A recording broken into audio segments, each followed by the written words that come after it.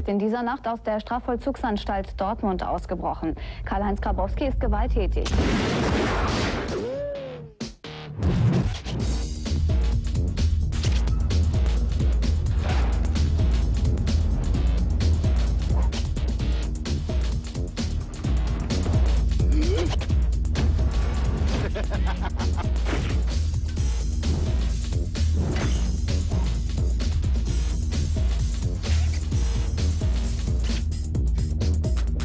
gesagt, dass ich nichts machen will? Ich will jetzt erstmal mein Leben genießen. Was mit dem Geld? Alles auf Holz. Ich komme morgen vorbei.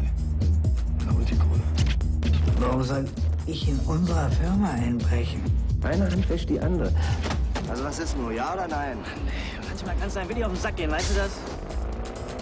Ich zieh das Ding allein durch. Ein Schlucker, wir sind Kollegen! Hey, die haben mich bescheißt. Wir bescheißen eine andere. Die sind doch mit der Kohle schon längst um alle Berge. Ja, ist mir doch scheißegal. Habt ihr doch nicht mehr alle! Alle Scheiße, Mann!